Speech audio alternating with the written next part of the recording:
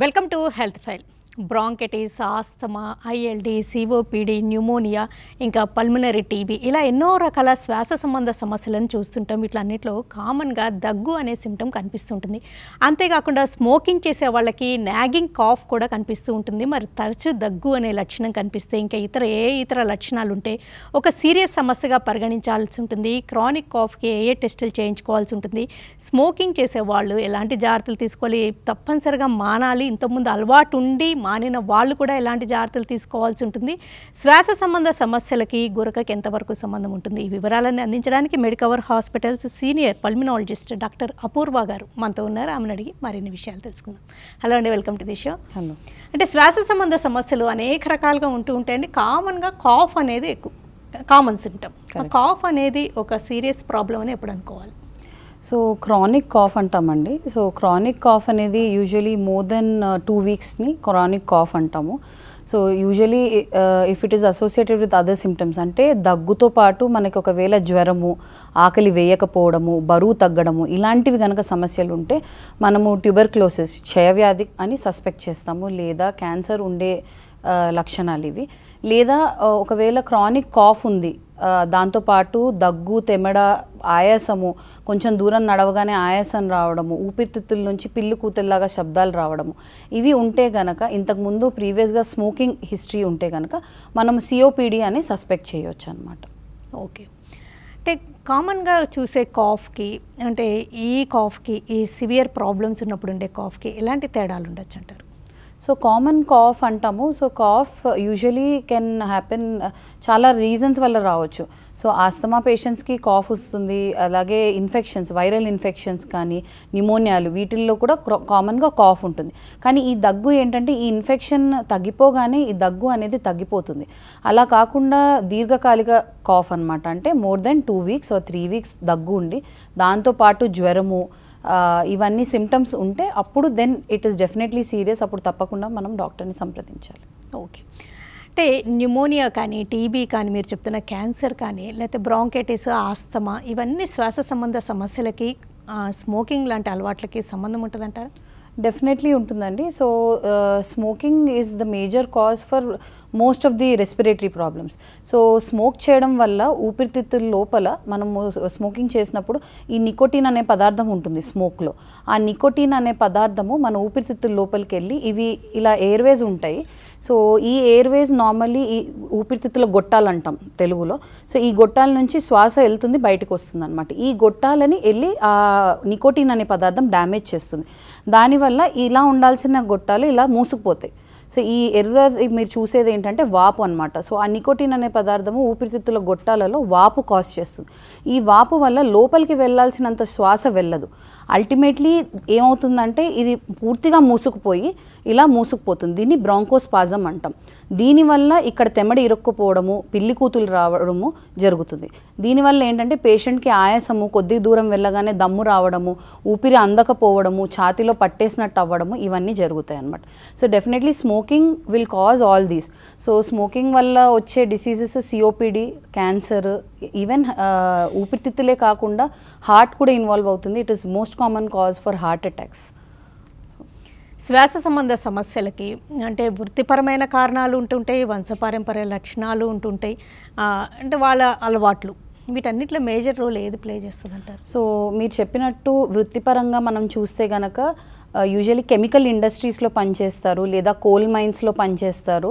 So దీని ఈ uh, ఇండస్ట్రీస్లో ఉన్న డస్ట్ వల్ల ఈ ఊపిరితిత్తులు ఎఫెక్ట్ అయ్యి ఇలాగే ఇందాక చెప్పినట్టు బ్రాంకోస్పాజం సో ఈ ఊపిరితిత్తుల గొట్టాలు మూసుకుపోవడం జరుగుతుంది. అదే మనం వంశపారపరంగా చూసుకుంటే కనుక జెనెటికలీ ఒక మనిషి లోపల ఉండే uh, ప్రాబ్లం వల్ల సో ఐదర్ మదర్ సైడ్ నుంచి కానీ ఫాదర్ సైడ్ నుంచి ఇంతకుముందు ఇంతకు ముందు ఆస్తమా ఉంటే ఇది పిల్లలకి వస్తుందన్నమాట. సో ఈ ఆస్తమా అనేది ఏంటి అంటే ఇలాగే ఊపిరితిత్తుల్లో ఈ గొట్టాలు మూసుకుపోతాయి. ఎందుకు మూసుకుపోతాయి అంటే there are they are called as triggers triggers అనేవి వేరే రకాలు ఉండొచ్చు. ఎలర్జెన్స్ అవ్వచ్చు. ఎలర్జెన్స్ అంటే మనము పొల్యూషన్ తీసుకోవచ్చు లేకపోతే పోలెన్ గ్రెయిన్స్ తీసుకోవచ్చు. ఇవి. సో వీటి వల్ల ఎలర్జీ వల్ల ఈ ఊపిరితిత్తుల గొట్టాలు మూసుకుపోవచ్చు. లేదా అదర్ కెమికల్ ఫ్యూమ్స్ కొంతమందికి పర్ఫ్యూమ్ స్మెల్స్ పడవు కొంతమందికి రబ్బర్ స్మెల్ పడదు. సో ఈ పర్ఫ్యూమ్ ఈ ఫ్యూమ్స్ వల్ల రావచ్చు. లేదా మన ఇంట్లో ఉండే pet animals like dog or cat వీటిని స్మాల్ హెయిర్ వల్ల రావచ్చు. సో ఇవన్నీ ట్రిగర్స్ అండి. లేదా చల్ల గాలి దుమ్ము పొల్యూషన్ సో ఈ ట్రిగర్స్ వల్ల కూడా మనకి ఊపిరితిత్తుల్లో ఈ గొట్టాలు మూసుకుపోతాయి. అదే ఎప్పుడు మూసుకుపోతాయి అంటే జెనెటికలీ మన శరీరంలో ఆల్రెడీ ఇది ఉన్నప్పుడు సో ఈ ట్రిగర్కి మన శరీరం రెస్పాండ్ అయ్యి హైపర్ సెన్సిటివ్గా ఉంటుంది. రెస్పాండ్ అయినప్పుడు ఇది బ్రాంకోస్పాజంలోకి వెళ్తుంది. వెళ్ళి లోపల పిల్లి కూతలు రావడము రాత్రిపూట శ్వాస అందకపోవడము పేషెంట్లు శ్వాసతో బాధపడడము జరుగుతుంది. ఓకే. ఈ పిల్లి కూతలు అనేది అంటే ఓన్లీ ఆస్తమాకి రిలేటెడా మిగతా ప్రాబ్లమ్స్కి కూడా రిలేటెడా సో బేసికలీ ఈ ఊపిరితిత్తుల గొట్టాలు ఏవైతే ఇందాక చూపించానో ఇలా గొట్టాలు ఉంటాయి. సో ఈ గొట్టాలు మూసుకుపోయినప్పుడు మనకి పిల్లి కూతలు అనేది వినిపిస్తుంది. సో ఇవి ఎప్పుడు మూసుకుపోతాయి అంటే చాలా రీజన్స్ ఉన్నాయి. ఐదర్ మనకి స్మోక్ ఎక్స్పోజర్ అదే స్మోకింగ్ లేదా పూర్వకాలంలో కట్టెల పొయ్యి బొగ్గుల పొయ్యి యూజ్ చేసేవాళ్ళు. ఆ పొగ వల్ల ఈ గొట్టాలు మూసుకుపోయి డ్యామేజ్ అయి ఉండొచ్చు. అది మనకి ఇప్పుడు నలభై యాభై సంవత్సరాల తర్వాత ఇప్పుడు నలభై వయసు పైగా ఉన్న వాళ్ళకి ఆయాసము దమ్ముతో రావచ్చు. సో ఇది ఒక రీజన్. ఇంకొక రీజన్ ఇస్ ఇందాక చెప్పినట్టు ట్రిగర్స్ సో చల్ల గాలి దుమ్ము వేరియస్ ఫ్యూమ్స్ కెమికల్ ఫ్యూమ్స్ లేదా పెట్ హెయిర్ సో వీటి వల్ల కూడా మూసుకుపోవచ్చు.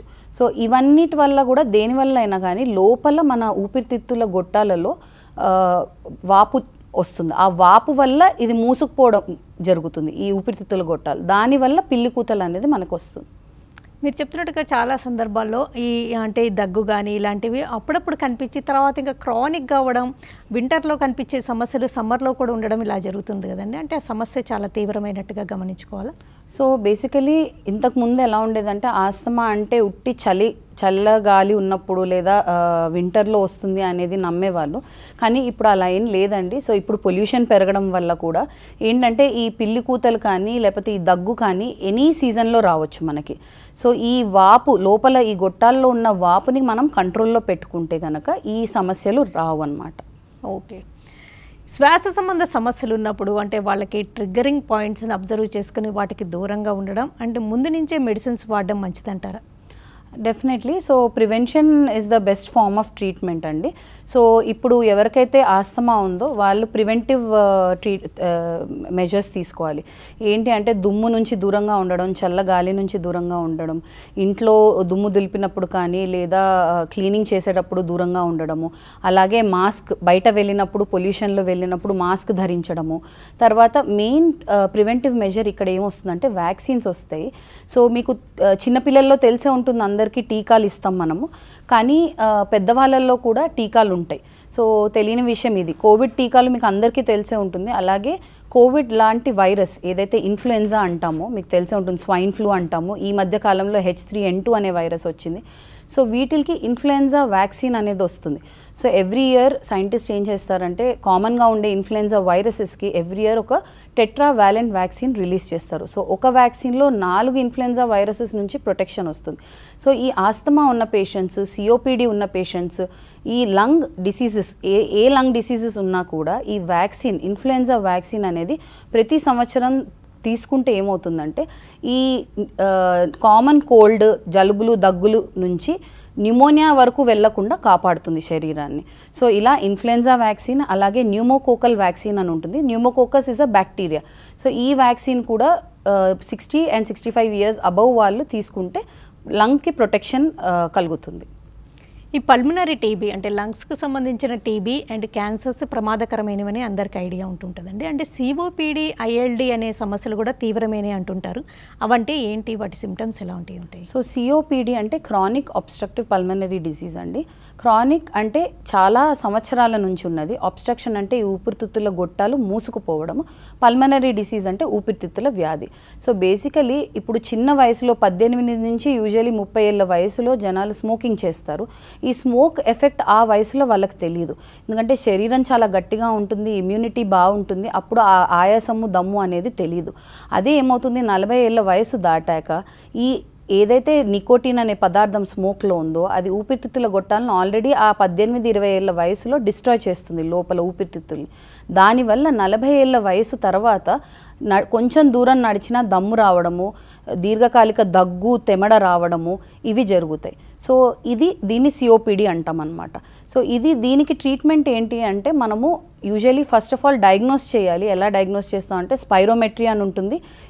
So spirometry is a test so ఒక మెషిన్ ఉంటుంది దాంట్లోకి మనం ఊదితే మన ఊపిరితిత్తుల కెపాసిటీ ఎంత ఉందో తెలుస్తుంది.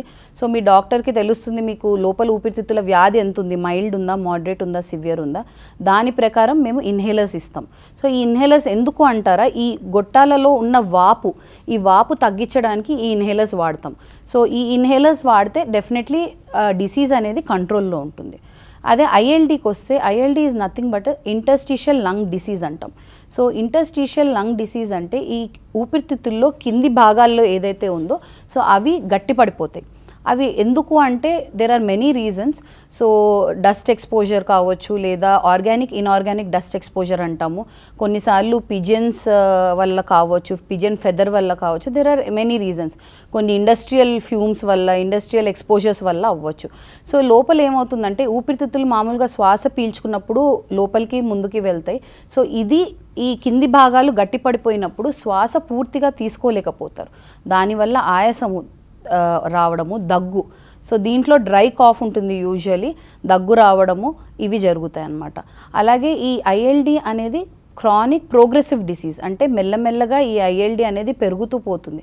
సో దీనికి వెంటనే మనము డయాగ్నోసిస్ చేయాలి. So diagnosis is by CT scan అనమాట సో సిటీ స్కాన్ చేస్తే లోపల ఉందా అనేది తెలుస్తుంది. ఇంకొక reason for ILD is Covid. So ఇంతకుముందు కోవిడ్ వచ్చిన పేషెంట్స్లో ఇప్పుడు దమ్ము ఆయాసము ఉందంటే డెఫినెట్లీ ఇమీడియట్గా డాక్టర్ని సంప్రదించాలి. మనం ఈ సిటీ స్కాన్ చేసి లోపల ఐఎల్డి ఉందా లేదా అనేది తెలుసుకుంటే వీటికి కూడా మందులు ఉన్నాయి యాంటీ ఫైబ్రాటిక్స్ అంటాము. అవి ఇచ్చి ఈ ఐఎల్డిని మనం ట్రీట్ చేసుకోవచ్చు. ఒక కాల్ చూద్దామండి. హలో. హలో నమస్తే అండి. నమస్తే చెప్పండి. నా పేరు కోటేశ్వర అండి. నా ఏజ్ సిక్స్టీ ఎయిట్ ఇయర్స్. ఇప్పుడు మార్చి నెలలో ఇన్ఫ్లుయెంజా వ్యాక్సిన్ తీసుకున్నానండి. ఇప్పుడు న్యూమోకోకల్ వ్యాక్సిన్ తీసుకోవచ్చండి. దానికి రెండు ప్రశ్నలు. ఒకటి ఏంటంటే వాటిలో ఏమైనా రకాలు ఉంటాయి మన ఆంధ్రప్రదేశ్ న్యూమోకోకల్ వ్యాక్సిన్లు? ఒకసారి తీసుకుంటే ఎన్ని సంవత్సరాలు పనిచేస్తుందండి దయచేసి చెప్పండి. సో న్యూమోకోకల్ వ్యాక్సిన్లో రెండు రకాలండి. Pneumococcal thirteen and pneumococcal twenty three అని. సో న్యూమోకోకల్ థర్టీన్ వ్యాక్సిన్ జీవితకాలంలో ఒకటేసారి తీసుకుంటారు. సో ఇది మనము అరవై ఏళ్ళ పైగా వయసున్న వాళ్ళకి ఇవ్వచ్చు. ఇది ఎప్పుడు తీసుకోవాలంటే మీకు జలుబు దగ్గు తెమడ ఒళ్ళు నొప్పులు జ్వరము లేనప్పుడు అంటే ఫ్లూ లైక్ సిమ్టమ్స్ లేనప్పుడు తీసుకోవాలి. అలాగే మనకి న్యూమోకోకల్ ట్వంటీ త్రీ వ్యాక్సిన్ అని అవైలబుల్ ఉంటుంది. న్యూమోకోకల్ ట్వంటీ త్రీ వ్యాక్సిన్ ఏమో ఎవ్రీ ఫైవ్ ఇయర్స్ తీసుకోవాలి. సో యూజువలీ మనకి పేషెంట్స్కి ఒకవేళ కోమాబిడ్ కండిషన్స్ అంటాం. అంటే హార్ట్ డిసీజ్ కానీ లంగ్ డిసీజ్ కానీ లేదా కిడ్నీ డిసీజ్ కానీ క్యాన్సర్ ఇలాంటి కండిషన్స్ ఉన్నప్పుడు ఈ న్యూమోకోకల్ థర్టీన్ మొదటిగా ఇప్పిస్తాం. ఇప్పించిన two months at least minimum two months gap తర్వాత ఈ న్యూమోకోకల్ ట్వంటీ త్రీ ఇప్పిస్తాం. అలాగే ఏది ఏ వ్యాధి లేదు ఉట్టి లంగ్ డిసీజ్ ఉందనుకోండి సో న్యూమోకోకల్ థర్టీన్ ఇనీషియల్గా తీసుకొని ఒక సంవత్సరం తర్వాత న్యూమోకోకల్ ట్వంటీ త్రీ అనేది తీసుకోవాలండి. షార్ట్ బ్రేక్ తీసుకుందాం అండి. బ్రేక్ తర్వాత లంగ్ క్యాన్సర్ ఒక టఫెస్ట్ క్యాన్సర్ ట్రీట్ చేయడం చాలా కష్టం. స్పాన్ కూడా లైఫ్ స్పాన్ కూడా తక్కువ ఉంటుంది అంటుంటారు. ఈ లంగ్ క్యాన్సర్లో ఊపిరితిత్తుల క్యాన్సర్లో రకాలు ఏంటి? ఇప్పుడు ఎంతవరకు మేనేజ్ చేయగలుగుతున్నారు? సర్జరీ ఎప్పుడు చేస్తుంటారు? ఈ డీటెయిల్స్ డిస్క్ అంటే లంగ్ క్యాన్సర్ గురించి డిస్కస్ చేస్తే లంగ్ క్యాన్సర్లో టైప్స్ కూడా ఉంటుంటాయి? అవునండి. లంగ్ క్యాన్సర్లో దెర్ ఆర్ టూ వెరైటీస్ అనమాట స్మాల్ సెల్ లంగ్ క్యాన్సర్ ఒక్క కాల్ చూసి కంటిన్యూ చేద్దాం వెయిట్ చేస్తున్నారు. పుష్ప గారు? హలో? నమస్తే. చెప్పండి పుష్ప గారు. నాకు అంత ఆయాసం వచ్చినట్టుంది పది రోజులు పది రోజులు అవుతుంది మీ కాల్ అసలు క్లియర్గా లేదండి. పది రోజులు అవుతుంది మేడం. అది ఆయాసం మంచికి. మీ ప్రాబ్లం ఏంటండి? లక్షణాలు ఎలా ఉంటాయి? లక్షణాలు ఏందా? ఒకసారి ఫ్రీగా ఊపిరి వస్తుంది ఒకసారి ఎగబుట్ట పోసుకొని ఊపిరి పీల్చుకోవాల్సి వస్తుంది. ఒక ఆయాసం లాగా ఉంటుంది మీకు. ఆ, ఆయాసము. ఊపిరి ఎగబుట్ట పోసుకొని ఊపిరి పీల్చుకోవాలి. ఒకసారి ఫ్రీగా వస్తుంది బాగానే. మీ వయసు ఎంత? నలభై ఎనిమిది. ఎన్- ఎంతండి? నలభై ఎనిమిది. నలభై ఎనిమిది. ఫార్టీ ఎయిట్ ఆయాసంగా ఉంటుంది. సో మీకు ఆయాసంతో పాటు దగ్గు తెమ్మడ ఒకవేళ ఉంటాయండి ఇన్ఫెక్షన్ ఉండొచ్చు ప్రస్తుతానికి. సో ఊపిరితిత్తుల్లో ఇన్ఫెక్షన్ కానీ నిమ్ము అంటాం కదా నిమ్ము ఉండ ఉండే ఛాన్స్ ఉంటుంది. సో దానివల్ల ఆయాసం రావచ్చు ఊపిరితిత్తుల్లో. సో దీనికి ఏంటంటే మనం ఎక్స్రే హాస్పిటల్కి వెళ్తే ఎక్స్రే ఇంకా బ్లడ్ టెస్ట్ చేసి తెమడ పరీక్ష చేసి చూస్తారు. దాన్ని బట్టి ట్రీట్మెంట్ ఉంటుంది మీకు ఫర్దర్. నెక్స్ట్ కాల్ చూద్దామండి. హలో. తగ్గుతుంది అన్నారు. మరి ఖచ్చితంగా పెట్టుకోవాలా? అంటే ఇంకేమైనా ఆప్షన్స్ ఉంటాయా? మీ క్వశ్చన్ కంప్లీట్గా లేదంటే ఒకసారి ఫస్ట్ నుంచి అడగండి. ఇప్పుడు మా మామగారికి బరువు ఎక్కువ ఉంటారండి. గురక బాగా వస్తుంది అని ఊపిరితిత్తుల డాక్టర్ గారికి చూపించాము. చూపిస్తే రాత్రి పూట పడుకునేటప్పుడు మెషిన్ పెట్టుకోవాలి ఖచ్చితంగా అన్నట్టు చెప్పారు. అవునండి. సో బేసికలీ ఈ ప్రాబ్లమ్ని ఆబ్స్ట్రక్టివ్ స్లీప్ యాప్నియా అంటాము లేదా స్లీప్ యాప్నియా అని అంటాము. సో పడుకునేటప్పుడు గురక రావడం వల్ల ఏమవుతుందంటే నిద్రపోయే టైంలో మెదడుకి ఆక్సిజన్ సరిగ్గా అందదు అనమాట దానివల్ల ఈ గురక అనేది వస్తుంది. దానివల్ల ఫ్యూచర్లో ప్రాబ్లమ్స్ కూడా వస్తాయి. బీపీ షుగర్ హార్ట్ డిసీజ్ లేదా ఒబేసిటీ అంటే లావుగా అవ్వడం. సో దీనికోసం మనము సిప్యాప్ అనే మెషిన్ ఉంటుంది దాన్ని యూస్ చేయాలి. సో ఇది పర్మనెంట్ సొల్యూషన్ uh, కాదు. అంటే సో సిప్యాప్ కంటిన్యూస్గా యూస్ చేస్తే ఏంటంటే స్లోగా మనం అది యూస్ చేసుకుంటూ వెయిట్ లాస్ అవ్వాలి. డైట్ ఫాలో అయ్యి వెయిట్ లాస్ అవుతే కనుక మెల్లగా ఈ సిప్యాప్ అనేది మానడం మానేయచ్చు అనమాట యూస్ చేయడం. ఓకే. మనం ఊపిరితిత్తుల క్యాన్సర్ గురించి డిస్కస్ చేస్తున్నామండి. అంటే సిమ్టమ్స్ కాఫ్ ఇలానే ఉంటూ ఉంటాయా బిగినింగ్లో సో ఊపిరితిత్తుల క్యాన్సర్ సిమ్టమ్స్ ఏంటంటే అండి దగ్గు ఉంటుంది దగ్గుతో పాటు తెమడ. ఆ తెమడలో రక్తం పడవచ్చు లేదా పూర్తిగా రక్తం వామిటింగ్ చేసుకోవచ్చు వాళ్ళు. సో దీన్ని హిమాప్టైసిస్ అంటాము. సో దగ్గులో కానీ తెమడలో కానీ రక్తం రావడము తర్వాత ఆకలి వేయకపోవడము బరువు బాగా తగ్గిపోవడము ఇవి క్యాన్సర్ లక్షణాలు అన్నమాట ఓకే కాల్ చూద్దామండి సుమంత్ గారు? Hello ma'am. చెప్పండి సుమంత్ గారు మీకు వస్తున్న అడగండి. మ్యామ్ నాకు టీబీ వచ్చి తగ్గిపోయింది. ఇరవై రోజులు అవుతుంది ఓకే. అయినా కానీ ఇంకా చెస్ట్లో అట్లనే పెయిన్ ఉంది. సో మీకు ఊపిరితిత్తుల టీబీ ఉండిందా? లేదా ఊపిరితిత్తుల్లో నీరు ఏమన్నా చేరిందా ఆ కాలం ఆ టైంలో? ఊపిరితిత్తుల్లో టీబీ ఉంది ma'am so okay. So TB నయమైన తర్వాత కొంచెం టైం పడుతుందమ్మా? అది నార్మలైజ్ కావడానికి. సో టీబీ ట్రీట్మెంట్ మొత్తం పూర్తిగా ఆరు నెలలు మీరు కనుక తీసుకొని ఉంటే డెఫినెట్లీ అది క్యూర్ అవుతుంది టీబీ అనేది. సో దానికి మీరు వరి అవ్వాల్సిన అవసరం లేదు. ఇది పెయిన్ చెస్ట్ పెయిన్ అనేది ఊపిరి శ్వాస తీసుకున్నప్పుడు అప్పుడప్పుడు ఉంటుంది. దట్ ఈస్ వెరీ నార్మల్ అది దానంతట్లో అదే తగ్గిపోతుంది. అదే మీరు ఊపిరితిత్తులు ఎక్సర్సైజెస్ చేయొచ్చు. ప్రాణాయామం యోగా అనులోమ్ విలోమ్ ఇలాంటివి చేసుకుంటే మీ ఊపిరితిత్తుల కెపాసిటీ అనేది పెరుగుతుంది. దట్ విల్ హెల్ప్ కొంచెం. బట్ అదర్వైజ్ ఇది టెన్షన్ పడాల్సిన అవసరం ఏమీ లేదు. ఆనంద్ రెడ్డి గారు కాల్. ఆనంద్ రెడ్డి గారు చెప్పండి మీకు వస్తున్న అడగండి మేడం ఈ నాకు స్మోకింగ్ హ్యాబిట్ ఉందమ్మా ఓకే. ఈ కంటిన్యూస్గా ఇది ఏమంటారు జలగా వచ్చేస్తుంది. ఏమొస్తుందండి? చెమడ వస్తుందండి. వస్తుంది. ఓకే. నైట్ నైట్ నార్మల్గా ఉంటుంది ఒక డే టైం ఉదయం సాయంత్రం అప్పుడప్పుడు వస్తుంటది. లైట్గా తగ్గినట్టుగా ఎర్లీ మార్నింగ్ మాత్రం అక్కడ తగ్గించినప్పుడు కంప్లీట్గా హార్డ్గా వచ్చేస్తుంది. సో స్మోకింగ్ మీరు మానేశారా అండి? లేదండి. తగ్గించాను సో ఫస్ట్ థింగ్ మీరు చేయాల్సింది ఏంటంటే స్మోకింగ్ అనేది స్టాప్ చేయడం అండి. సో స్మోకింగ్ మానేస్తే ఫస్ట్ ఆఫ్ ఆల్ ఈ ప్రాబ్లం అనేది సగం తగ్గుతుంది. నెక్స్ట్ సొల్యూషన్ ఇస్ ఈ దగ్గు తెమడ ఎందుకు వస్తున్నది అంటే మీ ఊపిరితిత్తుల లోపల బ్రాంకోస్పాజం అంటే ఊపిరితిత్తుల గొట్టాలలో వాపు వల్ల లోపల తెమడ జమ అయిపోయి వస్తున్నది. సో దీనికి మనము ట్రీట్మెంట్ డయాగ్నోసిస్ చేసి మనము ఇన్హేలర్ స్టార్ట్ చేస్తే ఆ దగ్గు తెమడ అనేది కూడా డెఫినెట్లీ తగ్గుతుంది. ఊపిరితిత్తుల క్యాన్సర్లో అంటే రకాలు ఏంటివి సో టూ టైప్స్ ఉంటాయండి. Small cell and non small cell cancers అని ఉంటాయి. సో ఈ క్యాన్సర్స్లో కూడా మళ్ళీ ఇంకా వేరే వేరే వెరైటీస్ ఉంటాయి డిపెండింగ్ ఆన్ హిస్టోపాథాలజీ అంటే మనము బయాప్సీ తీస్తే దాంట్లో ఏమేమి ఉంటాయి అనేది చిన్న చిన్న వెరైటీస్ ఉంటాయి. ఫోర్ ఫైవ్ వెరైటీస్ ఉంటాయి. So main but small cell and non small cell cancers అంటాం. ఒక్కోసారి లంగ్ క్యాన్సర్స్కి ఓన్లీ కీమోథెరపీ తోటి మెడిసిన్స్ మెడికల్ మేనేజ్మెంటే చేస్తుంటారు? సర్జరీ సజెస్ట్ చేయరు ఎందుకని? సో క్యాన్సర్లో కూడా స్టేజింగ్ ఉంటుంది.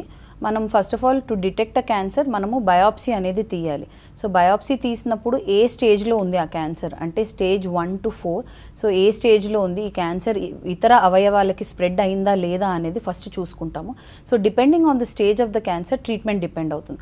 సో యూజువలీ స్టేజ్ వన్ క్యాన్సర్లో ఒకవేళ మనకి సర్జరీ అవసరం లేదు అనుకున్నప్పుడు మాత్రం కీమోథెరపీ ఒకటే ఇస్తాము. లేదా ఒక క్యాన్సర్ ఒకటే లోబ్కి పరిమితం ఉంది ఒకటే చోట్లో ఉంది అంటే ఆ లోబ్ కనుక తీసేస్తే మనకి తర్వాత కీమోథెరపీ అండ్ రేడియేషన్ థెరపీతో మనం ట్రీట్మెంట్ ఇస్తాం. So that depends on the stage of the cancer అలాగే ఫోర్త్ స్టేజ్ అంటాము.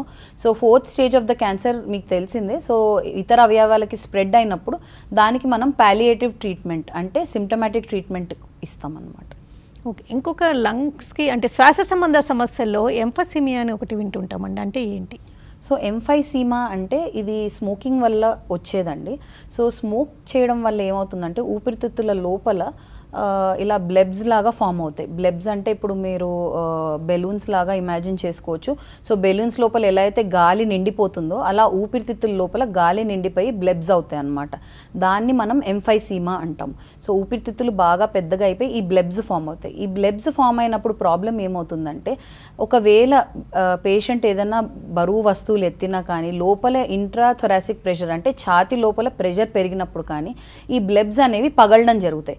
సో ఊపిరితిత్తుల మీద ఇలా టూ లేయర్స్ అంటుకొని ఉంటాయి. ఈ టూ లేయర్స్ని ప్లూరా అంటాం.